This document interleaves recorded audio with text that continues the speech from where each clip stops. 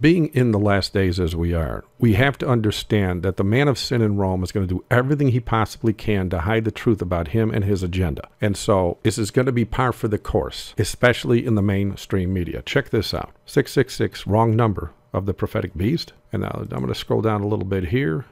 And it says, For centuries, people have been intrigued by the number 666, the number of the beast, from the book of Revelation in the New Testament. Not only is it mentioned in the Bible, it has been associated with Satanism, universal price codes, and the game of roulette as the numbers on the wheel add up to 666. Now, the legendary number is getting a fresh look. As researchers are re examining the evidence, the number may actually be 616. Well, that's not fresh evidence, though. It's an old lie. In fact, decades ago, when I first started to expose the beast in Rome on the streets of the Chicago area, I came across some old Catholic quotes wherein they claimed the number of the beast was not 666 as the Bible states, but 616 as the Vatican states. I mean, I had to laugh out loud when I think about their desperate attempts at trying to hide the truth about them. I mean, they know, thanks to students of prophecy who exposed them the last 170 plus years, that each and every title for the office of Pope actually does equal 666. They know, we know they use Latin in all their transcripts and documents and archives. And so anyone with a grade school education in math can calculate the number of the beast, for it is the number of a man's name. And the Latin alphabet is also the numeric system. So just add up each Latin title for the Pope and you will see what I mean. And in fact, check out this page on my site where I do just that. Go to remnantofgod.org and go to uh, the Popes of Rome in the RCC Exposed and go down to the Pope or their papal title equals 666 right here. I did a video on this some time ago as well. But every title for the office of Pope equals 666. I mean, there's their main title right there, Vicarius Filii Dei. Latin is not just their alphabet, it's their numeric system. So when you get a time, take a, take a look at that page.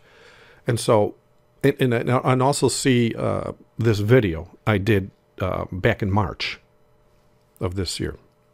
So, Revelation 13, verses 17 and 18 does clearly say that no man might buy or sell save he had the mark with the name of the beast or the number of his name. And then it says, Here is wisdom. Let him that hath understanding count the number of the beast, for it is a number of a man, and his number is 603 score and six. And so, with that being said, they're going to have to do everything they can to hide that basic prophetic fact. And so, yeah, they're going to change it from 666 to 616. That way, all their titles, which are on this page, can be easily hidden. But this is where I have to laugh out loud when they make such insane claims like this. They seem to think that there's only one prophecy that exposes the Pope.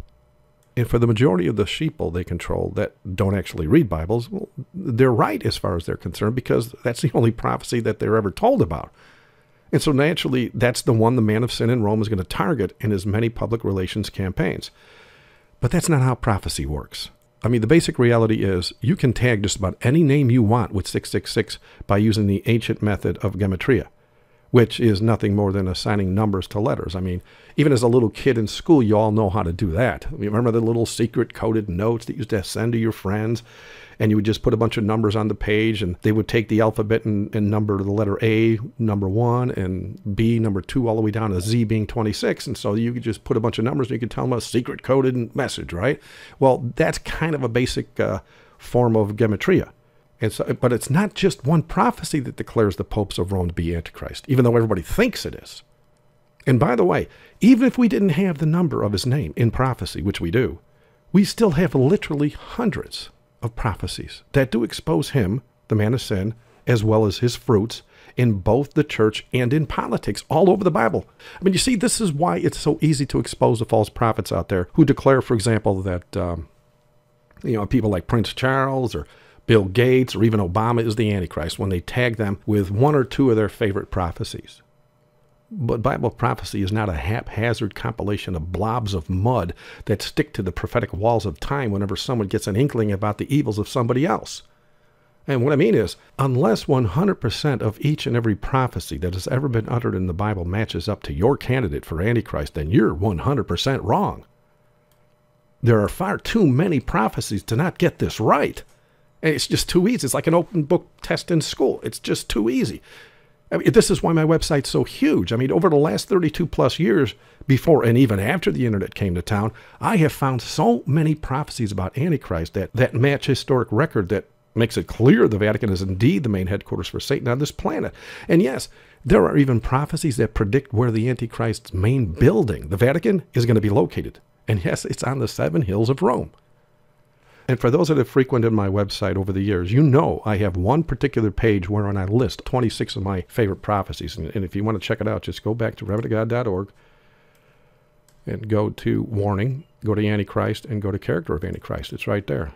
A lot of them were made into videos, but uh, there's there's 26 right there, my favorite. And so, even if you don't want to scan the entire Bible for all those prophecies, I challenge anyone within earshot to try and get Prince Charles, Bill Gates, or even Obama to fulfill even a fraction of all the prophecies about Antichrist in the Bible. I mean, still, the false prophets of this world are going to try. I mean, seriously, recently, WorldNet Daily and, and a few other mainstream news websites tried to help Rome by going so far as to declare Islam as the Antichrist. And in some cases, there's some false teachers and preachers out there that are saying that Turkey is the king of the north. Even though the Bible says Rome is the home to Antichrist, and the king of the north is Rome, and it will be until the eastern sky splits. But even as they are quite evil in themselves, that being Islam and Turkey, uh, they still cannot fulfill with uncanny accuracy 100% of the prophecies about Antichrist and the man of sin or even the Vatican itself. But if you're one that has some hard questions regarding these theories, please see my pages entitled Islamic Antichrist and King of the North when you get time. And you can get to those by going to uh, prophecy section, go to false prophecies. And you got Islamic Antichrist right there, and you got King of the North right there. And when you go there, you may be a bit shocked at how easily the Bible exposes the lies of the Vatican prelates and all those that spread her lies. I mean, what shocks me the most is there are literally billions of Bibles floating around on this sin sick world, and yet only a fraction of the people on this planet actually read them. They choose to follow their blind leaders into the ditch, just as prophecy predicted. But if you're one that wants the truth, then all I can say is open your Bible and then open a history book, and you will see what students of prophecy have been seeing and proclaiming for well over 17 decades. Thank you for watching. God bless.